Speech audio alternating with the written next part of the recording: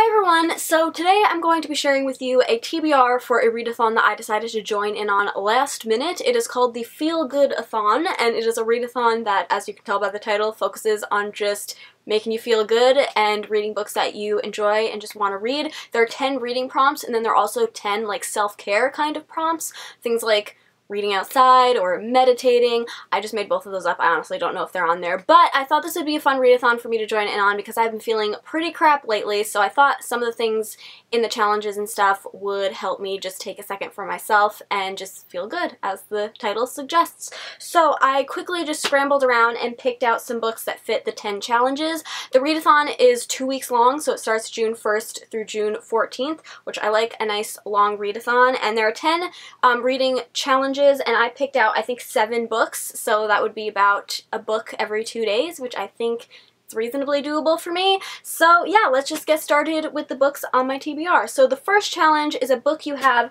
high hopes for. So for this, I picked out The Seven and a Half Deaths of Evelyn Hardcastle. I tried to fulfill a lot of these challenges with with books that I already had on my June TBR. So this book, I've talked about it a lot, um, but it is a mystery slash maybe a thriller book. It's been compared a lot to Agatha Christie and Clue, which are two of my favorite things, so needless to say, I have very, very high hopes for this book. Hopefully not too high that I'm disappointed. The second challenge is to read a short book. Now, tragically, I never have short books on my TBR, which is probably why I fail at a lot of readathons because I'm constantly trying to do them with really long books. But the shortest book I was able to find is Star Wars A New Hope, The Princess, the Scoundrel, and the Farm Boy. I think this is just like a novelization of the film, but this is a little over 300 pages, so this is the shortest book. Challenge 3 is to finish or continue a series. So we have another Star Wars book. This is Champions of the Force um, by Kevin J. Anderson. It's volume 3 of the Jedi Academy series. This is not canon, but I read the first book last year and it's horribly written, but it's very entertaining. So I read the second book just like last month or something, and now I'm moving on to the third and final book, which is hopefully just as entertaining as the first two. Challenge 4 is a book with your favorite trope. Now, I don't like when any of these trope challenges pop up in readathons because I truly just don't really have a favorite trope. Like, any of them could, can be good if they're done well, but one that I tend to be drawn to that I really, really like is kind of like tragic love stories or like forbidden love. So for this I picked out The Betrothed by Kiera Cass. Now hear me out on how this works into the thing.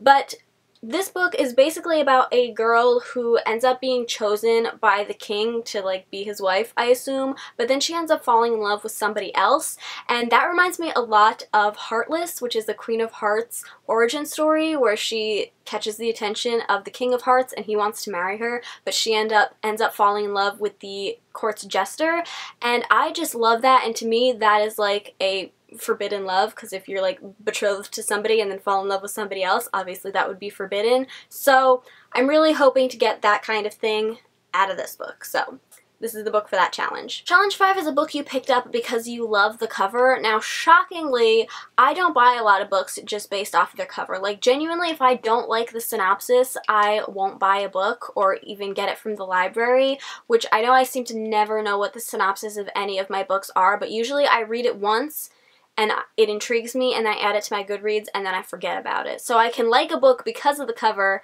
but inherently it was because of the synopsis that I added it to my Goodreads or bought it or whatever. So I don't really have a book for this challenge, but this is gorgeous. Honestly, you could say I picked this up just because of the end pages, like they are gorgeous. So we're just going to use this book for this challenge also. Challenge 6 is to read a host's favorite book. So out of all of the host picks, which I think each host picked about five books, so there were a lot to choose from. But out of all of them, there were only two books that I already owned that I hadn't already read, and that would be Ninth House by Leigh Bardugo and also An Ember in the Ashes by Sabaa Tahir. I think this was the book that was on there. I'm starting to question if I, I was thinking of a different book. But yeah, I wasn't planning on reading these books anytime soon, but it looks like I'm going to. So leave me a comment down below. Let me know which one of these you think I should pick up. Challenge 7 is to buddy read a book. This is the only challenge that I'm just like, I don't know about because I'm like kind of a really cruddy buddy reader. I'm just not very good at communicating.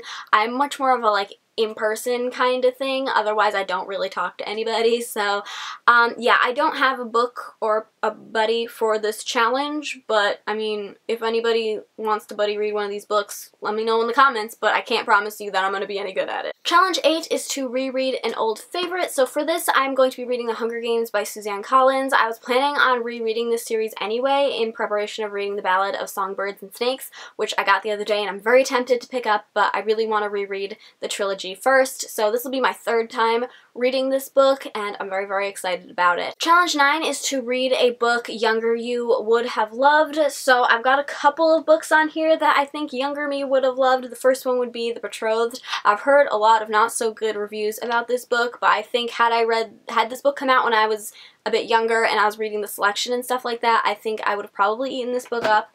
And also The Hunger Games, because younger me did love this book, and now I'm about to read it and love it again. And challenge 10 is to read a book by an author you haven't read before, so quite a few of these books could fit that challenge. I've never read by this author before, I've never read by this author before, and I've never read by this author before. So, that's three books that could possibly complete this challenge. So that is the end of my TBR. It has also started pouring rain outside, so I'm not sure if you can hear that or not. But yeah, I hope you all enjoyed this video. If you did, please give it a thumbs up and subscribe if you haven't already. Also, let me know in the comments if you've read any of these books, what you thought of them, if you want to buddy read any of them. Again, can't promise I'm going to be any good at buddy reading it, but I'll try my best.